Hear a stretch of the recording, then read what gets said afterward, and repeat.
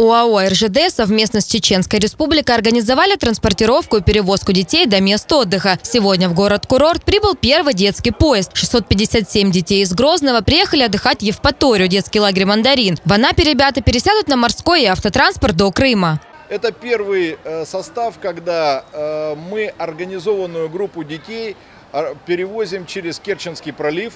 Так, и э, хотим показать всем о том, что это технологически возможно, что это безопасно. Для перевозки детей созданы все условия. В составе поезда 16 современных пассажирских вагонов последних лет выпуска, в том числе два вагона ресторана, где детям давали горячее питание. Все вагоны оборудованы кондиционерами и биотуалетами. Около 20 часов ехали в поезде маленькие пассажиры, желая побыстрее попасть на Черное море. Я хочу там видеть море, я хочу играть чтобы всем было весело, радостно. Хочу познакомиться с другими детьми и хочу, чтобы мои э, выходные прошли очень хорошо. Я хочу, чтобы нам было там интересно и захотелось еще раз туда пойти.